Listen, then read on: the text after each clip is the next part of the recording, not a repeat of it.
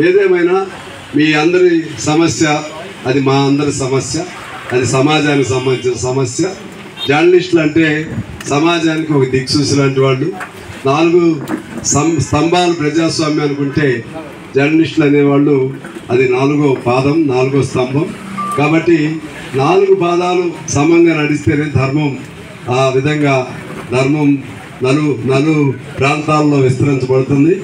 కాబట్టి మీ ధర్మమైనటువంటి డిమాండ్ కోసం దాన్ని సాధించడం కోసం మీరు ఎటువంటి పోరాటాలకి తీసుకున్నా మేము irrespective of our friendship or alliance or anything understanding with any party including ruling party will be with you we're with you so మీరు go ahead as our Ravi garu told you that you can approach court by moving a contempt of the court contempt of the order so ఆ విధంగా మీరు చేయండి. మీకేమి మీకు మేము నైతి వాళ్ళు ఇక్కడికి వచ్చామంటే మేము అందరం వేలాది మంది ఇక్కడికి రాపోయినా మేము వచ్చామంటేనే మా అందరి తరపు మా గొంతు మీకు సపోర్ట్ ఉందని చెప్పడానికి మేము ఇక్కడికి వచ్చాం.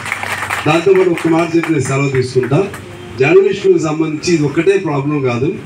నాకు తెలుసు కాబట్టి బేసికల్గా ఇవాళ రాష్ట్రంలో కానీ దేశంలో కానీ జర్నలిస్టులు అనేవాళ్ళు ఒక వృధా త్యాగ త్యాగమూర్తులు అయిపోయారు. వాళ్ళకి వేతనం ఉండదు. వేతన స్ట్రక్చర్ ఉండదు. బ్రతుకు తెరువు ఎలా నడుస్తుందో చూడలేరు.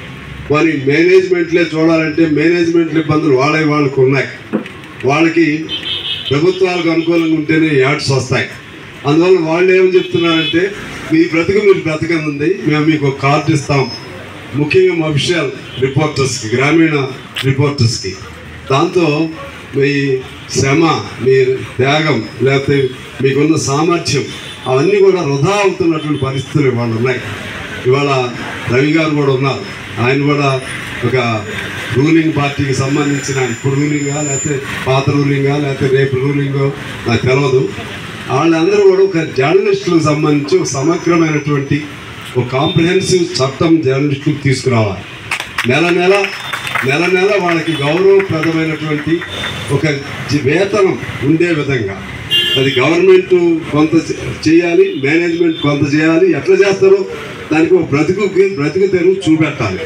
అదేవిధంగా ఆఫ్టర్ యువర్ రిటైర్మెంట్ ఆల్సో ఈ should be ensure that you will get something pension on par with government employees.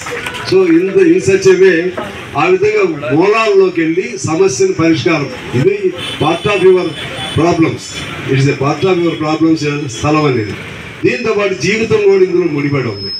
జీవితంలో ఇంటికి వెళ్ళిన వెంటనే భార్య పిల్లలు బయటకు వస్తేనే మీరు పులులు. బయటకు వస్తే అందరూ మర్యాదలు ఇస్తారు. మళ్ళీ మీరు ఇంటికి వెళ్తే ఏంటి పరిస్థితి? ఇవన్నీ కూడా నాకు తెలుసు.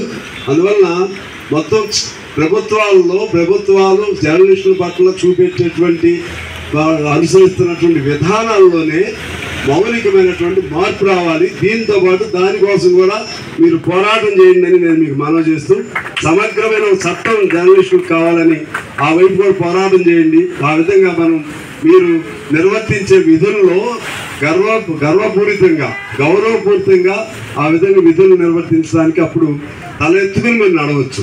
ఇవాళ చాలామంది తల వంచుకుని కర్తవ్యం నిబద్ధులై తప్పనిసరి తల వంచుకొని ఉంటున్నారు జర్నలిస్టులు. జర్నలిస్టులు తల వంచుకోవద్దు.